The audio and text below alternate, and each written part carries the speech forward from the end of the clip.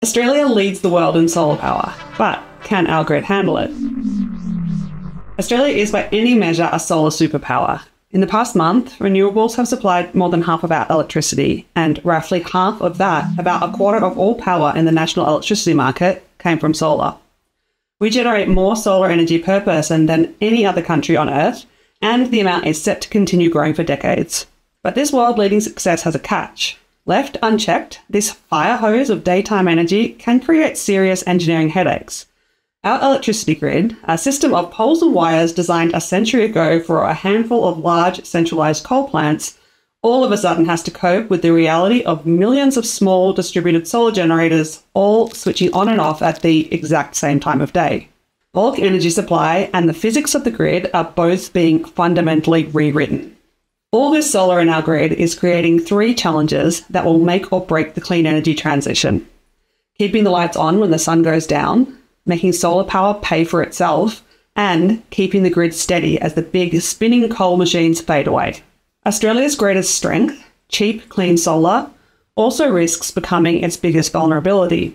The question now is how do we keep adding solar without breaking the system?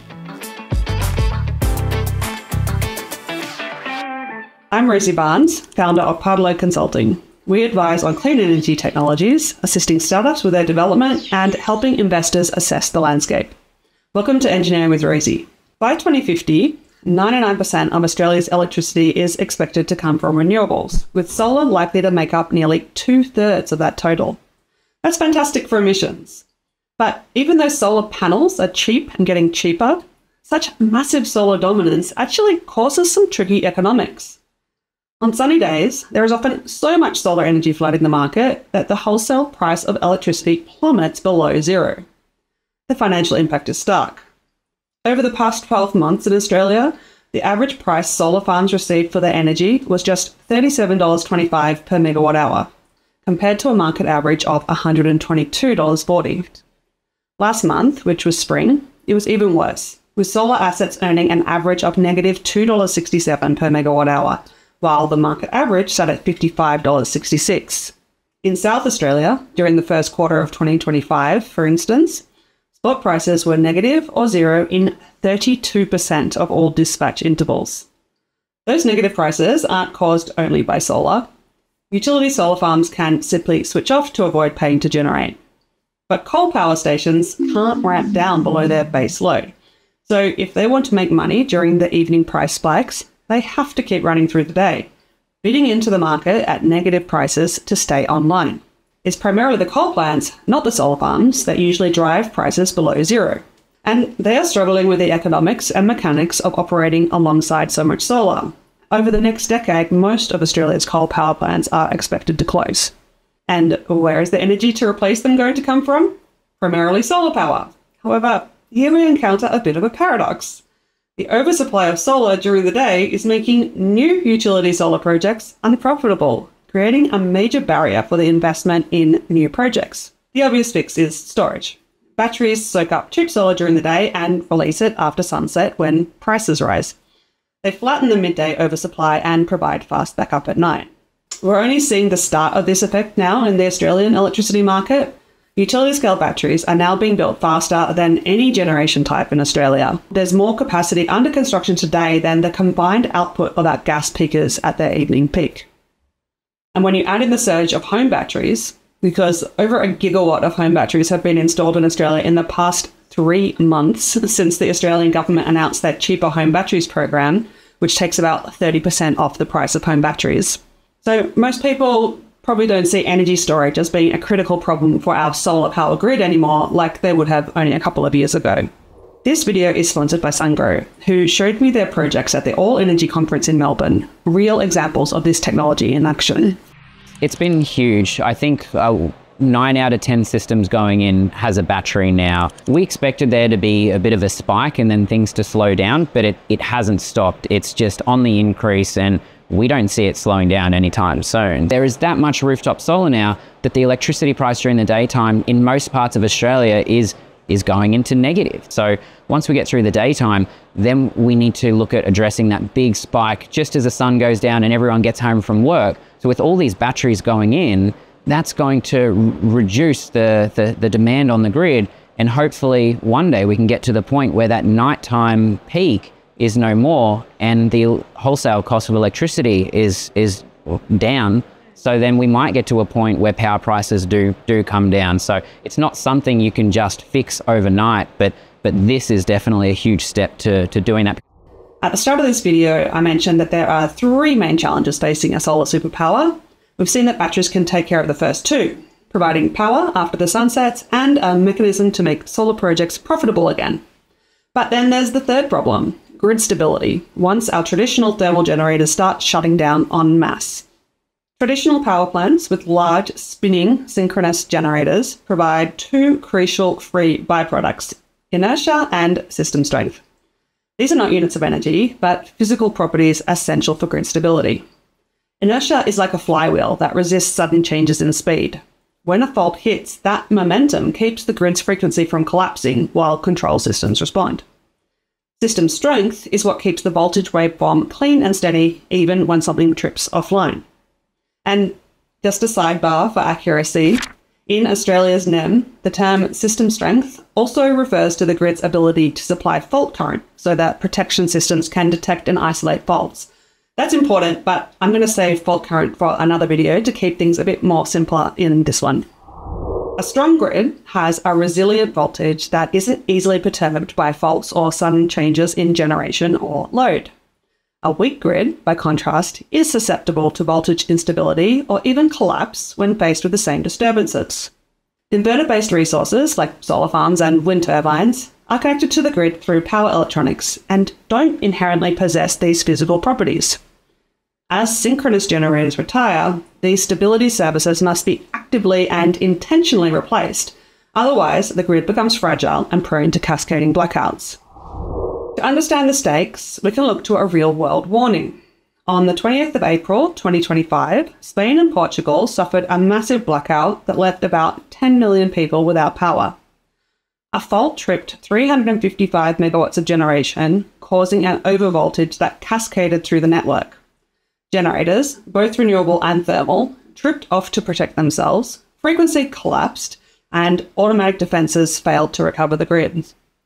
The Iberian Peninsula is like much of Australia. It sits at the end of a long, weakly connected network. The lesson that I think that we should draw from this experience isn't about any one technology, it's about stability. When voltage control and inertia are marginal, even a small fault can spiral out of control. The final root cause analysis for the 2025 Iberian blackout still hasn't been finalised, and it does involve more factors than the few I've mentioned here. It certainly isn't accurate to say that too much solar power was the main problem, but in the bigger picture, it doesn't really matter exactly how much of the blame for that particular blackout should be fairly placed with solar power. We still need to learn something about what can happen when system strength is not taken care of. So, is Australia set to be next? Fortunately, Australia has one big advantage. Ironically, the reason that Australia is in such a strong position to solve these problems is because of a long acknowledged weakness. Decades before wind or solar power made it into the Australian grid, engineers have battled to keep voltage stable at the far ends of our sprawling network. Towns like Broken Hill, hundreds of kilometres from the nearest power station, sat at the end of high impedance lines where voltage easily sagged or spiked. Utilities strengthened areas like that with synchronous condensers, capacitor banks, and automatic voltage control equipment. Mechanical and electrical fixes that supplied reactive power boosted fault current and steadied the waveforms. That expertise, born of necessity, gave Australian grid operators a deep understanding of weak grid dynamics. Synchronous condensers have been an effective solution for decades, providing stability much like traditional thermal generators. And we continue to install them today, for example, in South Australia, with over 70% of its electricity coming from wind and solar, and a desire to be able to turn off their gas generators entirely when there's enough renewables in the grid. And those are working great, but it would be good not to rely entirely on syncons. They are a little bit expensive to build and maintain, though really nothing compared to the money that gets spent building and maintaining a reliable electricity grid. They're also a bit inefficient and low power. But the real issue is that they may not be able to be deployed fast enough to match the speed of renewable growth. The future grid needs fast rollout, flexibility, and instant response, qualities that mechanical systems struggle to deliver. Enter the grid forming inverter, a smarter, faster, and more scalable technology that turns our grid's vulnerability, having lots of inverter based generation, into its greatest strength. Every solar, wind, or battery system connects to the grid through an inverter, electronics that convert DC to AC. Most are grid following. They measure the grid's 50 Hz signal and inject current in sync with it, much like musicians following a conductor's beat. But if the conductor falters, the music collapses. Grid forming inverters flip that relationship. They create the beat. Acting as a controlled voltage source, they set their own frequency and voltage reference, allowing other devices to follow. In effect, they become the digital conductors of the modern grid. Inside each grid forming inverter is a control algorithm that mimics the physics of a generator. Instead of mechanical inertia, the inverter's software enforces virtual inertia through control and voltage support. It can detect a disturbance and correct it within milliseconds, far faster than any spinning machine. I'm here at All Energy in Melbourne, and this whole event, everyone's been talking about this really exciting news. AEMO has announced plans for a world first trial to operate part of the Australian grid with no synchronous generation at all, running entirely on batteries and advanced inverter based resources. This will be the first time anywhere in the world that a large interconnected grid operates solely on inverter technology with no interconnections to other grids. It shows just how close Australia is to proving that grid forming inverters can completely take over the stabilising role that coal and gas turbines used to provide. I spoke with some of the Sungrow team and their partners yesterday to find out about some of the battery and inverter projects that they're doing that are taking us closer to this reality. For example, in terms of like a larger scale in the utility, we just get a great, uh, great connection of the Cunderdin Solar Farm, which is the one of the largest solar farm in this market and it's also uh, DC couples to combine with the battery and the solar. So during the day, it's, uh, it's solar will supply the local like agriculture town called Cunderdin and also charging the battery. And at night, the energy will be sent to Perth, which is the capital of the Western Australia. And we also is building the largest uh, standalone battery in South Australia. So soon it's gonna be, uh, I would say, not a not even a community battery, you become a state level battery. The combination of a grid forming inverter and a large scale battery is revolutionary. The inverter provides the brains, the battery provides the muscle. Together, they stabilize the grid while shifting energy in real time. This partnership solves both sides of Australia's paradox. On the engineering side, it supplies system strength and frequency control, keeping the grid stable even when there are no traditional power stations online.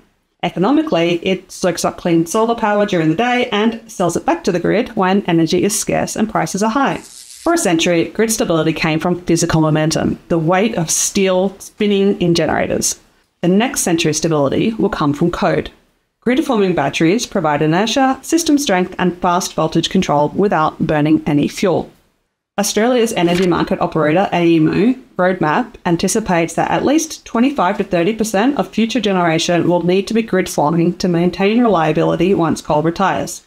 That means thousands of megawatts of smart inverters acting not as passive followers but as active grid leaders.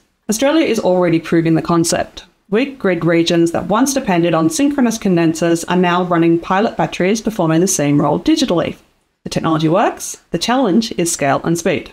Australia's record setting solar success exposed a critical vulnerability in a grid built for a different era. Yet the same engineering culture that managed weak remote networks for decades is turning that vulnerability into a strength. The shift underway is profound. From heavy mechanical machines to intelligent electronics, from inertia measured in tons to stability defined in microseconds, our grid is being rewritten in software and that software is what will make 100% renewable electricity possible. This video was made possible thanks to Sungrow, who invited me to their booth at All Energy in Melbourne last week. You can find more conversations that I had with Sungrow on my LinkedIn and short videos and learn more at sungrowpower.com. As always, thanks to the Engineering with Rosie Patreon team and YouTube members, if there are any by now, and you can join the team at this link. Thanks for watching, and I'll see you in the next video.